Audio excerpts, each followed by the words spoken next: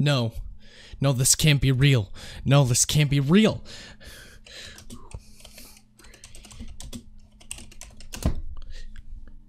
No.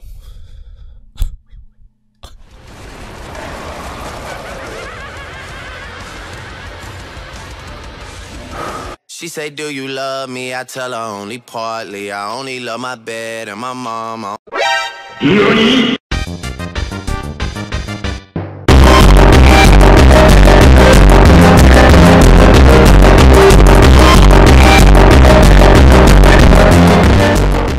Now, whom created Kirby, you may ask? Well, none other than the man himself, Masahiro Sakurai. But not only has Masahiro created one of the most competitive EA sports titles like Kirby, he's also starred in uh, very many animes like Doki Doki Literature Club, Friends, and Men in Black.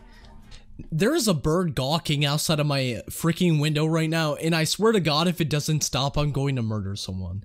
Now, one of your questions maybe is, I thought Masahiro was Japanese. My gender identity is Japanese. Well, he is. He was born in China on 1904 on a no gay Thursday, and when he came out of his mom's womb, the first thing he saw was his mom's pink, puffy cheeks. In that moment, in that realization, as just being seconds old, is when Masahiro created the idea for Kirby.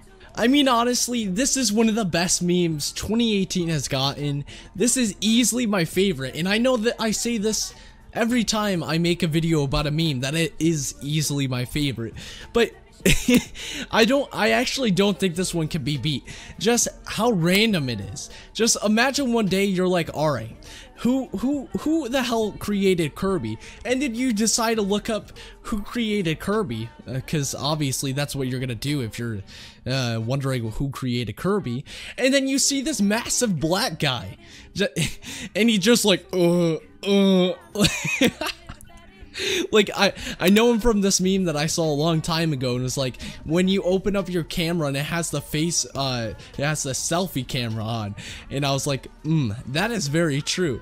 But this meme very very ripe very spicy.